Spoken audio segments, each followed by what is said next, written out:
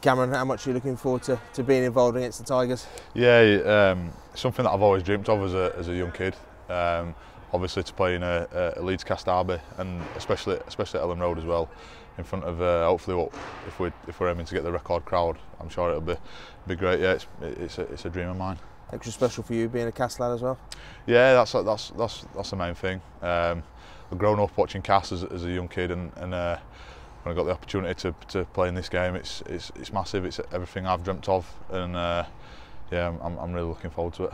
How much confidence you take from your performance last personally against Saints last week? Yeah, I've had, I've had a, um, I just thought uh, from from that game that I had to uh, give everything I've got. Cause, uh, I think it's about the time where I, I, I want to earn my spot in, in this team. So um, when I give you the chance to play against Saints um, off the bench, I, I, just wanted to give everything I had and, and, and prove a few people wrong, and uh, hopefully uh, getting us out for this week, which which I've tried to achieve. Yeah.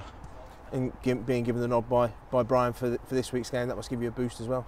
Yeah, just just like I said, it childhood dream. Um, I knew that this fixture was coming up, so so I thought that um, if I try getting the team for now and, and, and get in here and, and, show the boys what I can do and, and, and work hard for them and, and hopefully just just keep in and out of the first team, yeah. It's a couple of years since you made your Super League debut. You had to you had to bide your time. Do you feel like you're in a, strong position now to take advantage of, of this opportunity? Yeah, so uh, I debuted in 2016, which seems seems many years away now, and uh, yeah, I've, I've, had to buy my time. I've, I've, played, I've been on loan at Bradford. I've uh, played at 19s, and and uh, I've tried to I've tried to do everything I could to, to earn a spot here, and uh, I've had to work on them little things, and and yeah, it's, it's got it's got me the chance to, to come off the bench tomorrow. there's going to be over 20,000 here on Friday night. It should be a, a fantastic atmosphere.